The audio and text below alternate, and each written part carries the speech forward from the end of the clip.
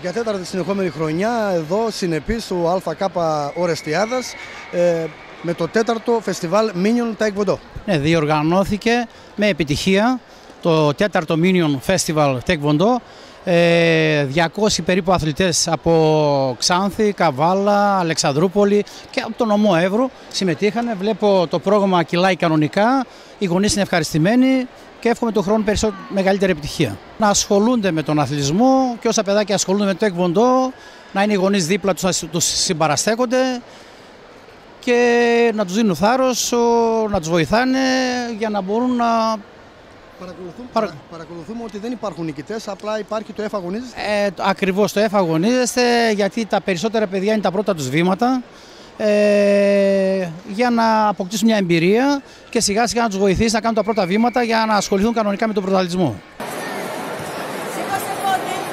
Ωραία. Και το άλλο τώρα χρησιμοποιήστε δύο πόδια τώρα. Παίξτε με δύο πόδια.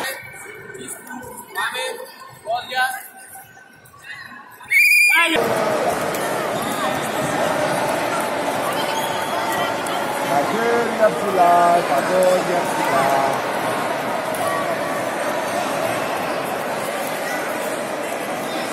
Vamos con Juan, aquí